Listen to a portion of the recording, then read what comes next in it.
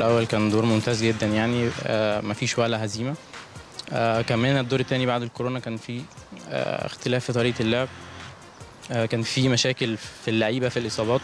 بس ستيل الأهلي برضه حقق رقم قياسي 28 انتصار. آه الأداء مع موسيماني اختلف. كان في إصرار جامد على أساس إن إحنا البطولة ديت ما تخرجش من النادي الأهلي.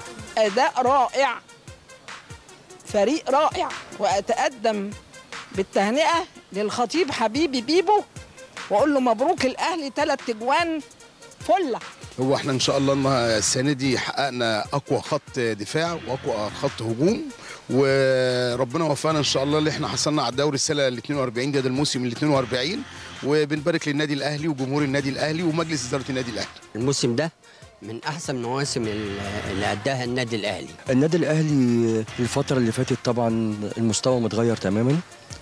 المدير الفني على أعلى مستوى. اللعيبة فاهمة بعض دلوقتي جدا. آه، يعني حابين بعض وده باين في الملعب جدا.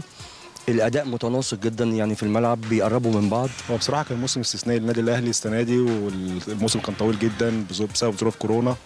والأهلي بصراحة الأداء كان كويس جدا في في الدور الأولاني برضه بس بعد أزمة كورونا وكده الأداء اهتز شوية. بسبب بسبب أزمة كورونا وكده بس رجع بعد كده الأداء بعد ما المدرب الجديد جه الاداء اتحسن جدا والمستوى اللعيبة كلها بارتفاع. والله الفريق في الموسم دوت كان آه، بيأدي بشكل متوازن في الدفاع والهجوم وحاجة يعني آه، ممتعة ومفرحة بالنسبة لفريق النادي الأهلي. بشكرهم كلهم على المجهود اللي عملوه. كان مجهود جبار.